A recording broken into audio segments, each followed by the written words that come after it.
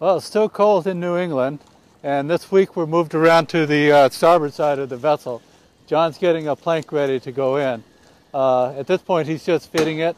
He'll take that plank down, and we'll put it in the steam box over here, and we'll steam it like we did the ones on the port side. But uh, while he's doing that, we'll go inside the vessel, and we'll show you the hold and uh, basically how this boat is put together. Uh, now we're standing in the hold of the Beaver, and this would be a good opportunity to show how these vessels were built back in the colonial days. This type of construction is what they call plank on sawn frame, and this was very typical of what they had back in colonial days. Uh, we saw the planking go on the outside, and what we have here is actually planking on both sides of the frame. We have inside planking as well. And this is over sawn frames. Each of these frame sections is called a futtock, and it is sawn from the log and bolted together. What we have here in this diagram is a cross section of the construction of the beaver.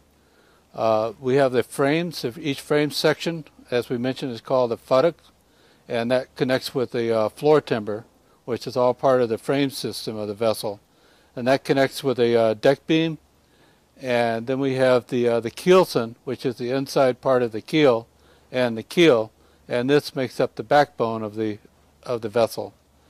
Uh, we've got outside planking, and which John was putting on the outside of the vessel. Inside we have what we call ceiling planking. Ceiling in a vessel is not the overhead; it's the inside planking. From there we've got the ship's knee, uh, which ties the deck beam to the sides of the vessel together, and the stanchion, which supports the deck beam from the uh, keelson. On deck, we've got deck planking, and as the top timbers go through the, the covering board, we've got the rail cap and the bulwarks. This is what they call a knee of a ship. Uh, this is actually made from the root of the tree, and we've got two types. We've got a hanging knee, and we also have a uh, lodging knee. And the lodging knee and the hanging knees tie the deck beams to the side of the vessel. Uh, from here, it's like we talked about before, we've got ceiling plank. This is all the ceiling plank, and you can see some of the frames behind here. Some of the ceiling plank we've been replacing. All of this has been replaced at an earlier haul out, and this is some of the newer stuff we're putting in at this point. Where I'm standing in the bow of the Beaver now is an area they would have called the forecastle, and that's where the uh, the crew slept. The crew was called foremast hands because they slept ahead of the foremast. The foremast would have been right about here.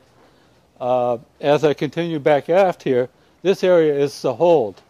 Uh, the Beaver, of course, was a whale ship, and she would have been filled, normally filled with barrels of oil. But of course, during the time of the Tea Party, she was filled with crates of tea. And as we continue back here, we'll go into the captain's quarters.